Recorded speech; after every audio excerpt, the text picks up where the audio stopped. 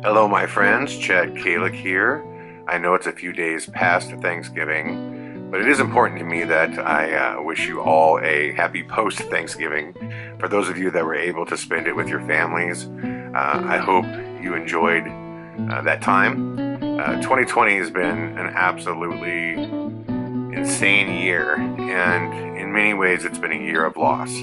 And, uh, you know, if there is an upside to loss, it's that it makes you realize what's important.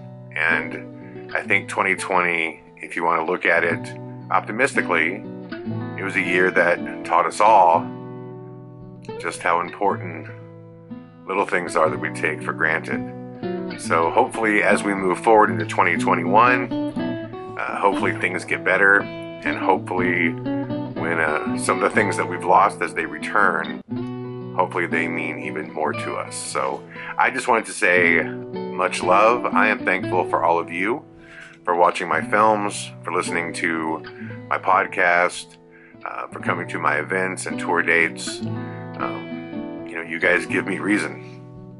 You know, you give me reason to wake up and do the things that make Chad Calek Chad Calek. So I just want to wish you all love, happiness. I hope you're all, you know, taking it easy. And uh, Christmas is around the corner, and obviously my, my favorite holiday, uh, which is New Year's, um, because again, it's a it's a great opportunity to look back and say, how do we do it again, but better.